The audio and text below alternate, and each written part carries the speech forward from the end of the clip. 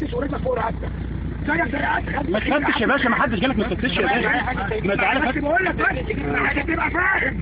ادخل زعيم يعدي من هنا. ماشي يا عم. إحنا بينا وبينك إحنا بينا وبينك يا سعاده الباشا مش بينا وبينك حاجة. يا سعاده الباشا دي هتعدي ده شغل. أيوه يا باشا ما إحنا عدينا إحنا نزلنا. مفيش حاجة. مفيش حاجة يا باشا.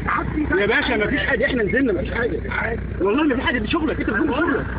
يبقى فاهم الشيخ. يا باشا مفيش حاجة. هي بس ده- لما هو شغل يا عم تترسم على دين أمي ليه؟ ما حدش دخل. يا باشا إحنا ما تفتشنيش ومش ما تفتش لا تتفتش يا عم. يا عم مش يا عم. إحنا قلنا ما تفتش ما حدش مش لازم بقى دين أمي مناقشة. وتطلعوا ما يجيش.